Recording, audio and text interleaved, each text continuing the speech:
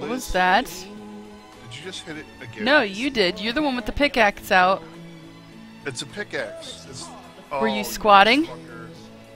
Oh, shut up! God damn it. God damn it. You motherfucker.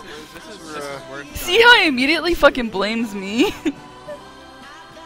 Well, you had already done. Did you do the entire house? oh no. Close enough. Oh, it's only a third of it.